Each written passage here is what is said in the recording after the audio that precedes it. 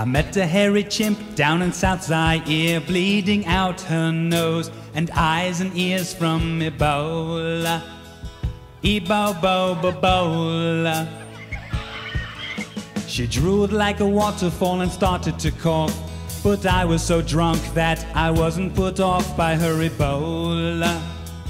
Ebola. Ebola. I'd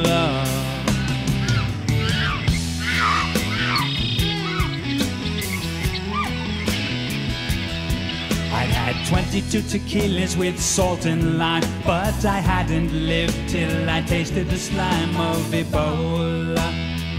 Ebola. Then I heard the barkeep yell last call, while before my eyes she was going bald from Ebola. Ebola. Ebola.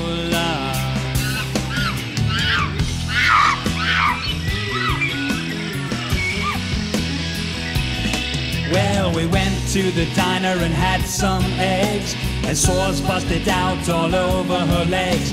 Her eyes bugged out and they began to pulse as every little nerve of hers began to convulse.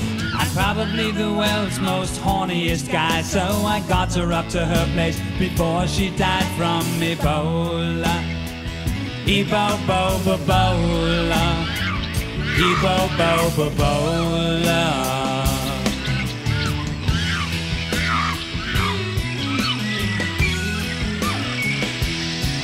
She writhed on the floor like a fish on the dock.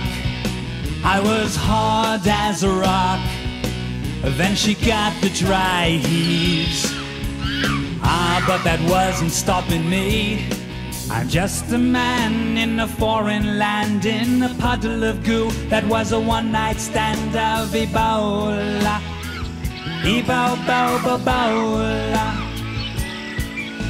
So watch yourself at the 20 shots. You might end up sleeping in a big wet spot of Ebola.